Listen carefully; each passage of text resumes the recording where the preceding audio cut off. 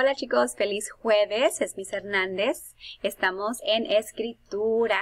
Esta semana estamos aprendiendo sobre los sustantivos y le vamos a agregar un poco más sobre lo que ya sabemos. Acuérdense que las palabras sustantivos nombran a personas, a animales, cosas, ideas y lugares. Esta semana nos vamos a concentrar en dos tipos de sustantivos que nombran a nuestros animales y a nuestras personas. Antes de comenzar nuestra lección es importante que vean el link para que vean la foto de nuestro trabajo que vamos a hacer.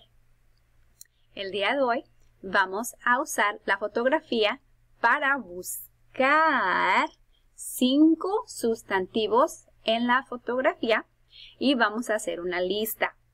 Después que hagamos nuestra lista de cinco sustantivos de animales o personas, vamos a escoger su favorita y vamos a escribir una oración completa. Para eso necesitan su cuaderno. Van a ver en su cuaderno, van a ver ustedes la fotografía y me van a hacer una lista de los cinco sustantivos que vieron en la foto. En su cuaderno van a escribir jueves, la fecha, septiembre 3, 2020. Y en la foto yo vi... ¿Qué vieron ustedes en la foto? ¿Te acuerdas? Yo vi un mapache. Ma, pa, che. ¿Qué viste tú?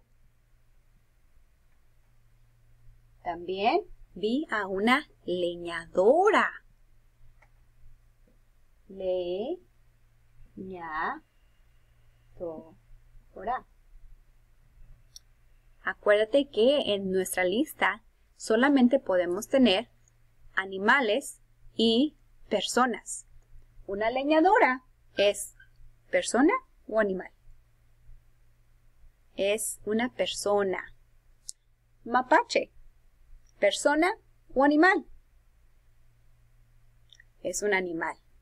Excelente. Su lista debe de consistir de cinco cosas que vieron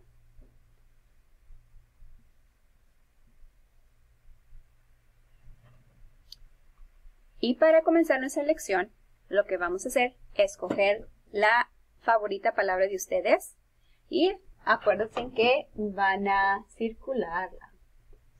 Mi palabra de hoy va a ser mapache. ¿Qué palabra escogiste tú? Ahora, me van a ayudar a hacer una oración con la palabra mapache. Acuérdense que esta es mi palabra. Ustedes deben escoger algo diferente para, para la lección. Y acuérdense que las oraciones comienzan con mayúscula. ¿Listos? El mapache, mayúsculas, siempre comenzar la oración. El mapache, ma, pa, che, el mapache. Aquí ya está mi sustantivo. Este es un animal, yo sé que es animal, entonces lo voy a circular, porque ese es mi sustantivo. El mapache es negro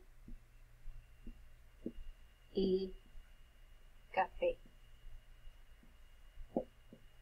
Café. ¿Y qué lleva al final de una oración? Un punto final. Muy bien. Vamos a ver si escribimos la oración correcta. Tenemos nuestro sustantivo. ¿Qué hacemos con nuestro sustantivo? Con el sustantivo. Lo circulamos. Excelente. Tenemos mayúscula. Así es. Mi mayúscula. Y por último, tienes un punto final. Excelente, muy bien. Ahora voy a leer la oración a ver si tiene sentido común. El mapache es negro y café. ¿Le entendiste? Muy bien. Ahora lo que vamos a hacer es, voy a hacer una ilustración de lo que escribiste. Cuando termines tu oración, con todo y que verifiques que está bien toda tu oración, haz tu ilustración, le tomas una foto y se lo mandas a tu maestra.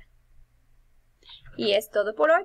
Y felicidades, ya sabes escribir una oración con un sustantivo.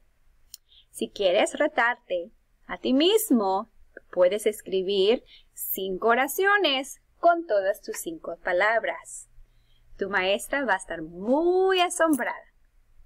Nos vemos mañana. Hasta luego.